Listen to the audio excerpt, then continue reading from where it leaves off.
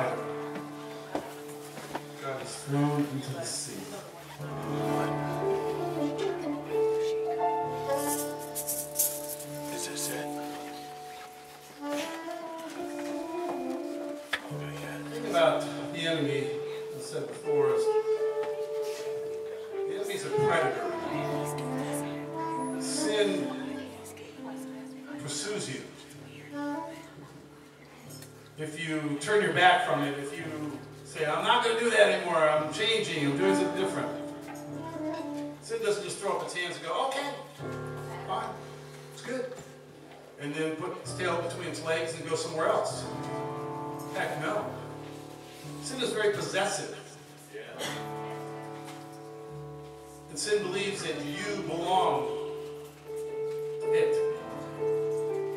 So, like an estranged lover, it hunts you down.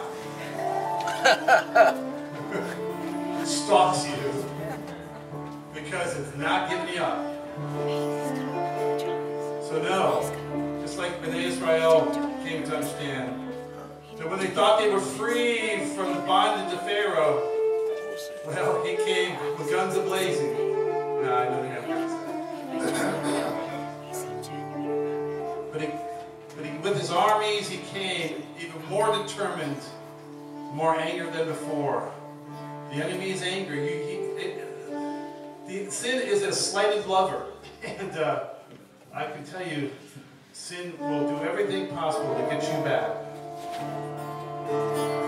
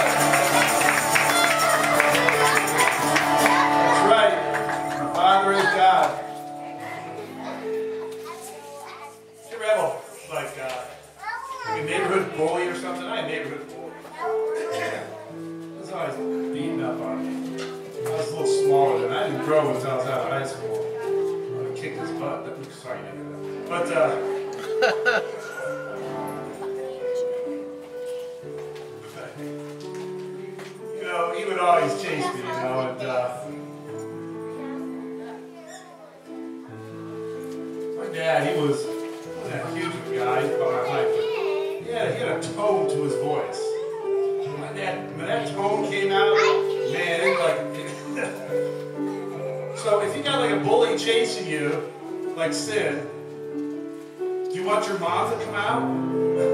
no. Sorry, sorry, ladies. Yeah. Now, some moms are pretty insane, and maybe it's a little weird Yeah. because they get all kids are more freaked out. of Okay. their dad. But when the dad stepped in, hey, it's like, okay, Yeah, that's it. I'm done. I'm done. That's it. And that's what the enemy needs to hear. He needs to hear that tone from the Father. Amen? Amen. We need that. That. We need it in our own lives. And we need that especially when that pursuer is coming after us. Amen.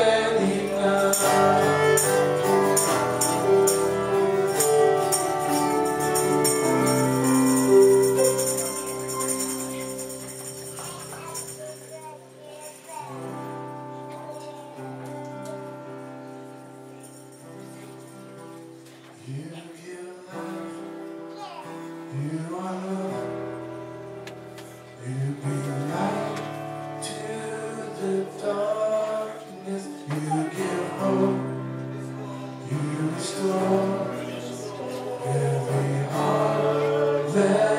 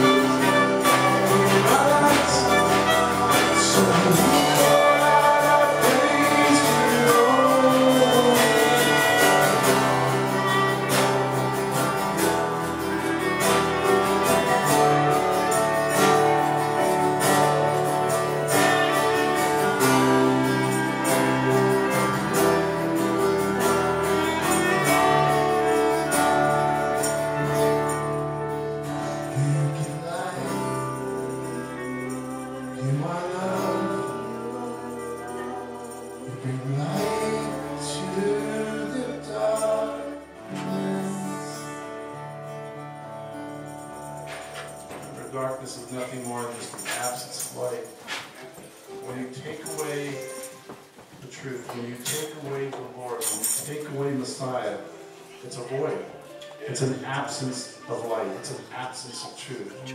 There is no such thing as darkness. Sin and rebellion are nothing more than an absence of obedience and commitment. That's all that is. That's all it is. We have given up the Father's will for our own. And there's no life in that, and there's no fruit in that. And the pathway to that road is death. And the quicker that we express that and declare that, as unpopular as it may be, the better off we will be on the road to light. What a fabulous sunrise was this morning. And yet what that sunrise, it's the old saying for you Navy people. Uh, sky in the morning, sailor's warning. So I saw light, but I saw a lot of darkness that was coming on board there and covering up. And really, again, it wasn't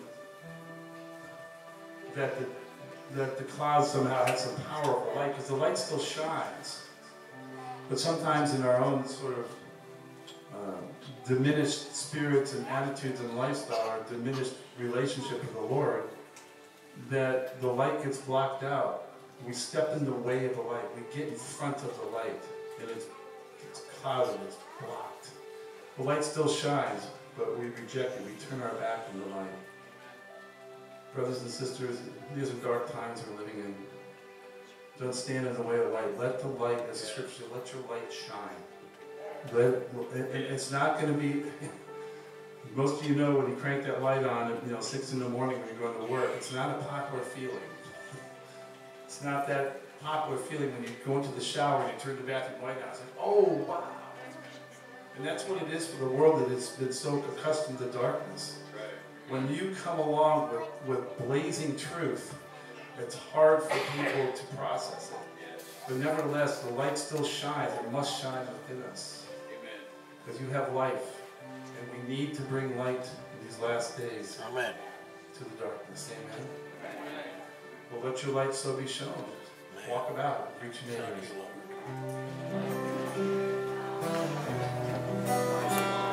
Hi, how are you? Good, that's what I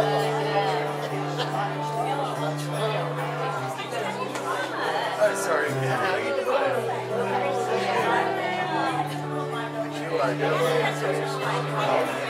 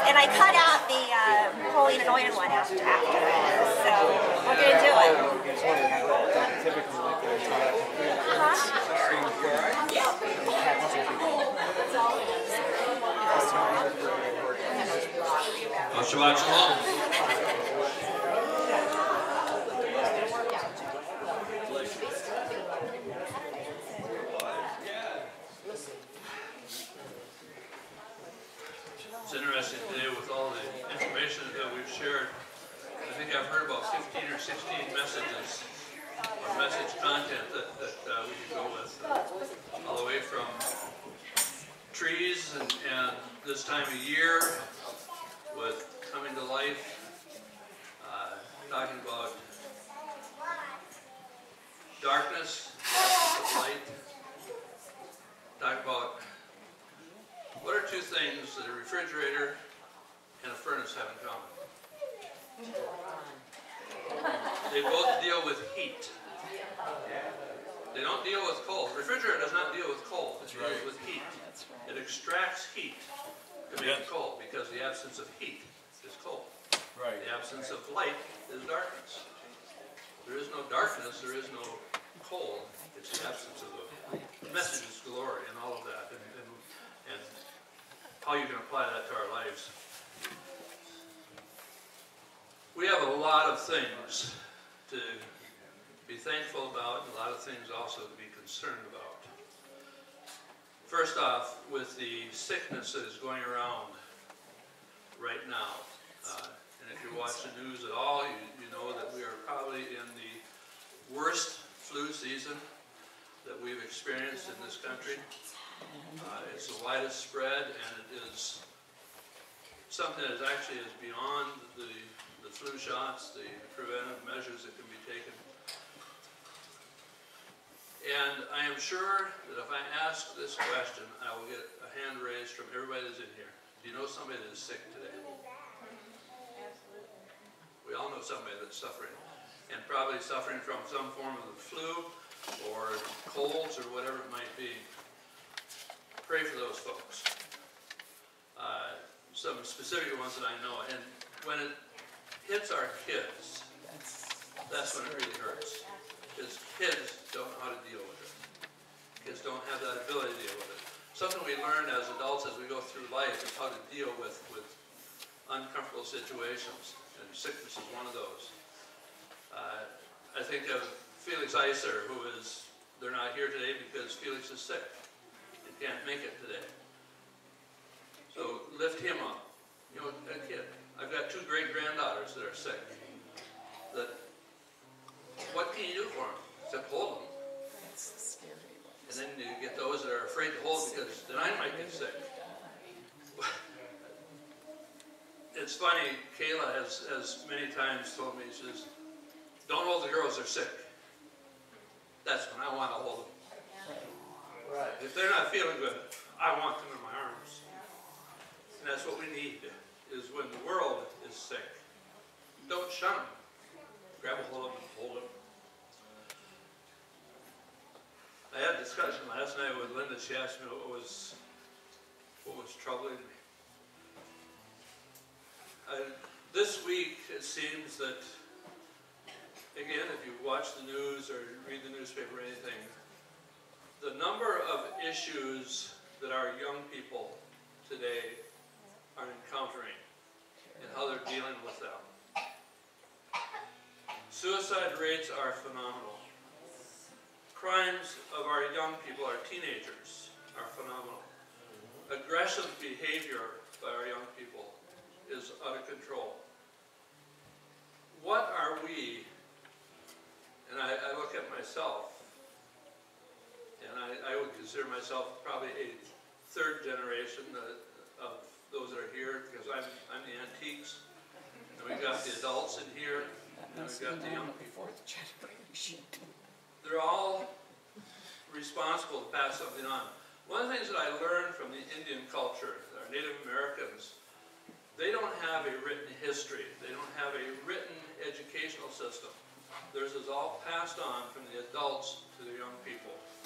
They sit down and talk to them. They, they work with them. They teach them skills. They teach them about their past.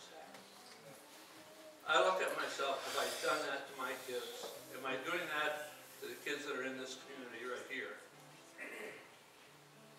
God has given us each gifts that he expects for us to pass on. I heard a message last week that concerned, who am I and why am I here? What am I here for? What purpose did God put me on this earth for? And I kind of swallowed that saying, God gave me a talent, and I'm not passing it on. I'm not teaching. I would love, and, and many of you know that I, I really enjoy woodworking. I enjoy cabinetry, I enjoy making crafts, I enjoy those types of things. But I do it all by myself. When we were involved in the Nazarene Church, there was a program called Caravan. It was for our young people. Yes, they were taught scripture and they were taught those, those things that we need to because that's what we're told to do, is to teach our children diligently. But also part of it was teaching them to work with their hands and to do things and to do projects to help other people to entertain themselves.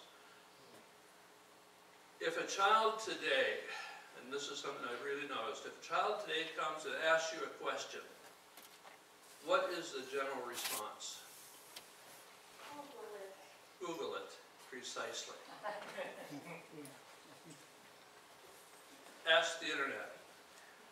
And you know what they're finding from the internet? What's the resource? They are learning, what are they learning? They're learning violence and how to do it. They're learning how to inflict pain.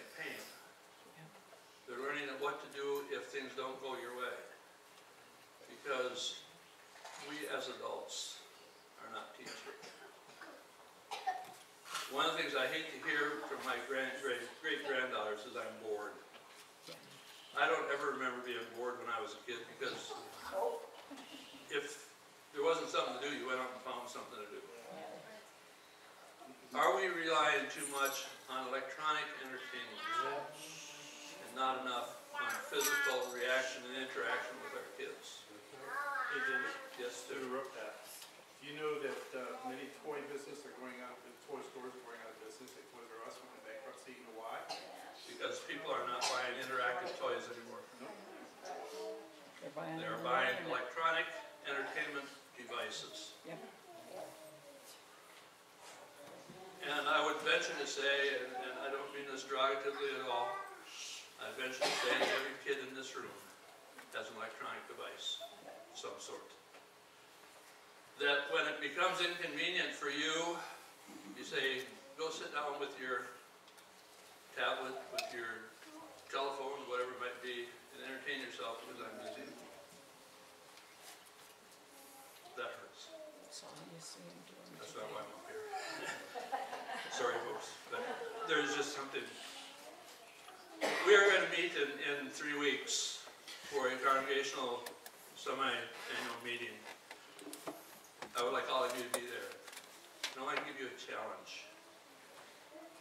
Bring an idea to that meeting of what we as a congregation can do in this next year to uplift our kids and establish a better relationship between adult and the youngest generation. What can that be? I told Linda I'll probably open mouth and insert foot. But I would love to teach or to work with some young people to understand construction, to understand modeling, to understand making things, taking a block of wood and creating something out of it. Can we work that into a program somehow? So three weeks from today, immediately following service in Oneg, we'll have our congregational meeting. Come and be a part of that and bring some ideas as to what we can do in this coming year. Also look forward to the uh, 29th of March, which is our Pesach celebration. We will need some help as we start preparing for that and start planning for it. Uh, It's going to be upon us before we even realize that it's here. And uh, it's nice we've got a place that we're going to go to, but there's a lot that has to happen to make that happen. So be ready to, to jump in and volunteer. Also in the volunteer area, this building and this property is ours. It's our responsibility to maintain and take care of it. We need some people to possibly even form a committee or form a, a task group or something that will put in place a regular schedule for maintenance and cleaning and upkeep. So if you can do that, uh, we'll also try to put that in place on the annual meeting, but before that, uh, if somebody wants to volunteer to help out, be glad to have that. Uh, It's, and it, it really is not a one-person responsibility. It's a it's a team effort and a group effort to do it. After Oneg, there's a lot of work to be done to clean up and get it ready for next week and, and get things put away. If you see something that needs to be done, nobody's job.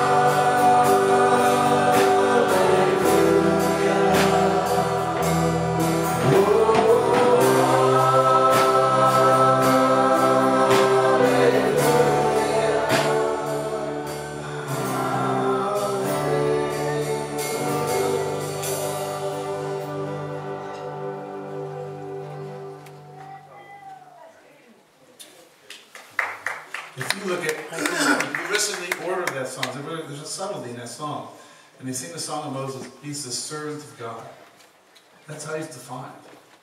This is really what David's talking about, is taking the gifts that we all have and applying them, using them, especially to our youth. The days that we are approaching, we need to equip them. Yeah, we need to equip them spiritually. Thank you for those who teach about school, like Victor and James and Stephanie, my wife and others. And that's important, but we also need to equip them practically. Practically. You know, my son lives at Kent State, he goes to Kent, he has roommates, and he's always, he's bedazzled, in a negative sense, about how so many of his friends are so ill-equipped with just real life stuff. Like, to cook some food, take of an apartment, fix their car. You know, uh, it- it's amazing to him. Why did you shut me off? So, it's an amazing thing how ill-equipped we are, uh, or at least our young people are in the days we're living in. And I think David, what he had to say has great merit. And I challenge you to do what he said, is to think what you, gift you have that you can bring to bear. Because I know what gifts I have. I know gifts many of you have. So let's, let's build. Let's build lives. Amen?